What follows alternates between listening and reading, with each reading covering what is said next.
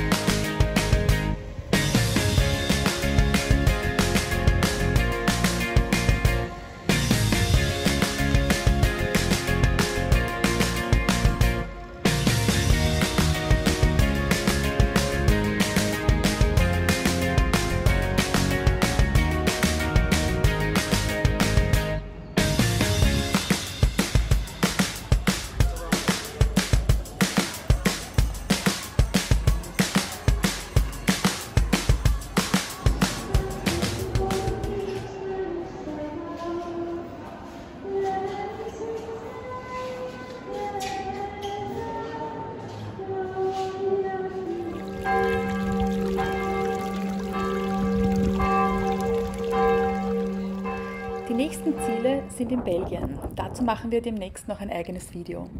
Gleich nach unserer Rückkehr in die Niederlande machen wir einen kurzen Abstecher ans Meer. Über eine Stunde stapfen unsere bloßen Füße durch den Sand, bis wir sie in die Nordsee tauchen.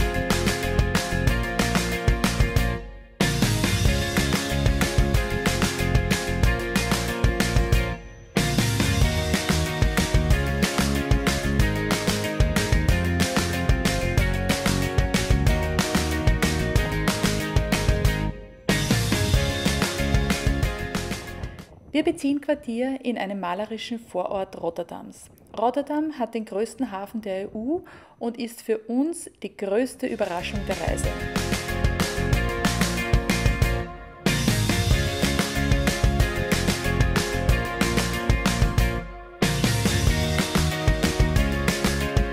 Wir sind begeistert von der alten und vor allem von der neuen Architektur. Die Erasmusbrücke, die neue Markthalle, der Hauptbahnhof, die Kubushäuser.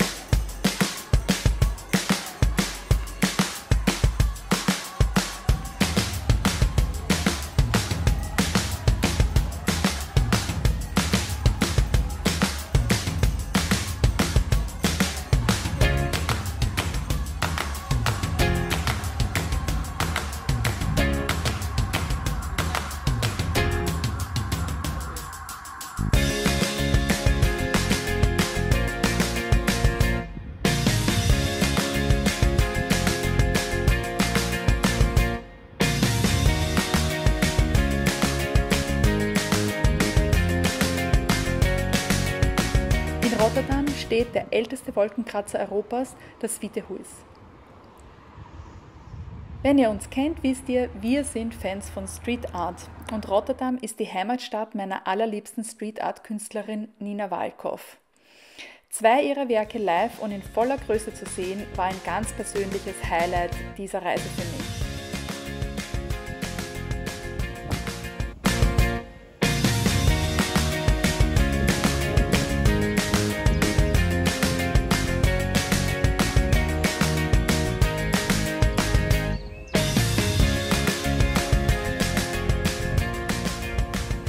Klar hatten wir diese Reise für unsere Verhältnisse mit sehr kurzen Stops geplant. Bei Rotterdam fanden wir das am bedauerlichsten. Für diese tolle Stadt braucht man auf jeden Fall mehr als nur zwei Übernachtungen. Weiter geht's Richtung Amsterdam. Wir halten in Zanseschans. Urban Sketcher teilen die Welt in Zeichnungen. Und Zanseschans ist dasjenige Motiv, das einem aus Holland in der Sketcher-Szene am häufigsten unterkommt. Natürlich suche ich mir auch einen Zeichenspot.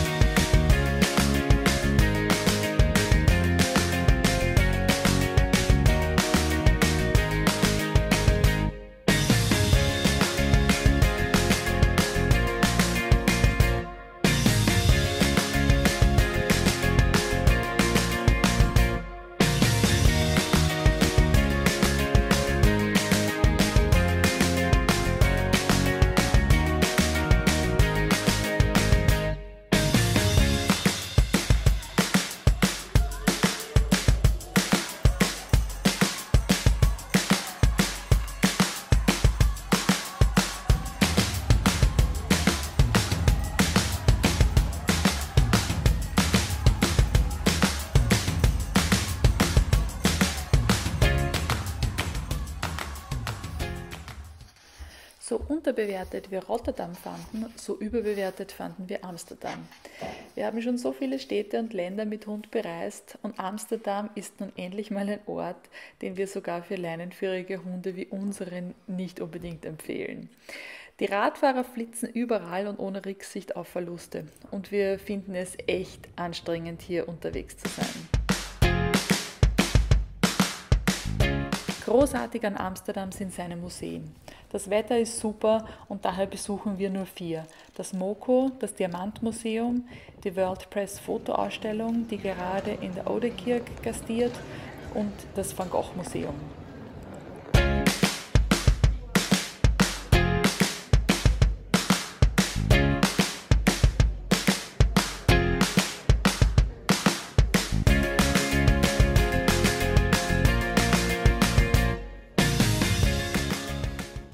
Van Goghs blühende Obstbäume sind ein Erlebnis. Der Audioguide dort ist ungewöhnlich gut gemacht und wir lernen, was Vincent van Gogh für ein Sparefroh war. Viele Leinwände bemalt er vorn und hinten. So viele Selbstporträts von ihm gibt es nicht aus narzisstischen Gründen, sondern weil sein Spiegelbild billiger war zum Üben als ein menschliches Modell.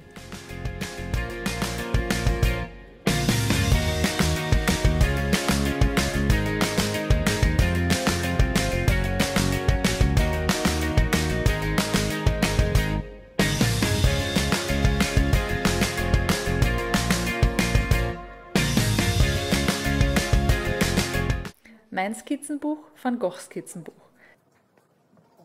Meine Palette, Van Goghs Palette. Unsere Zeit in diesem Museum wird durch ein Aha-Erlebnis honoriert. Seit längerem frage ich mich, wie Impressionisten ihre Farbkombinationen gewählt haben. Ein Mischvorgang dauert üblicherweise länger. Wenn man aber die Farben nebeneinander setzt, anstatt zu mischen, woher weiß man dann, wie die Farbkombination aus der Entfernung wirkt? Die Antwort gibt uns diese Kiste Van Goghs.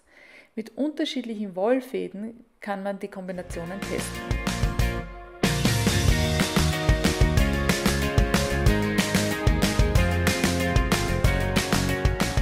Wir stehen vor dem Anne Frank Haus und ich denke, Wie viel leichter ist es, die toten Helden zu feiern, als selbst etwas gegen Genozid und Kriegsverbrechen zu tun? Wie viele Besucher befinden sich jetzt gerade im Anne-Frank-Haus, die selbst nicht einmal das Geringste tun für heutige Kriegsflüchtlinge?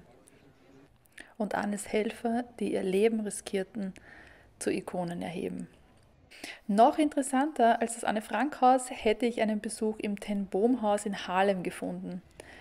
Solltest du die Familie Ten Boom und ihre Geschichte während des Naziregimes noch nicht kennen, die würde ich echt empfehlen.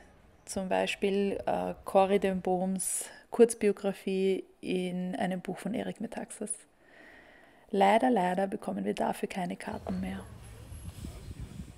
Auf geht's zum nächsten niederländischen Juwel, dem Schloss de Haar. Die ursprüngliche Burg stammt aus dem 12. Jahrhundert. 1890 erbt Baron, man beachte den Namen, Etienne van Zuylen van Nijvelt van de Haar das stark verfallene Anwesen und beauftragt Pierre Kuipers mit dem Wiederaufbau.